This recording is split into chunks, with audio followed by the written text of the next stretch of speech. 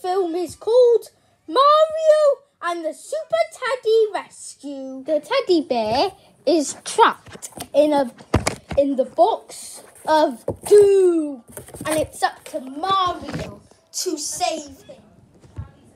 Mario must climb up the mountain. Mario, climb up the hail of rocks.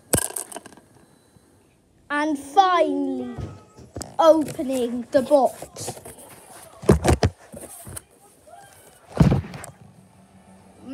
Mario's got the teddy. The end.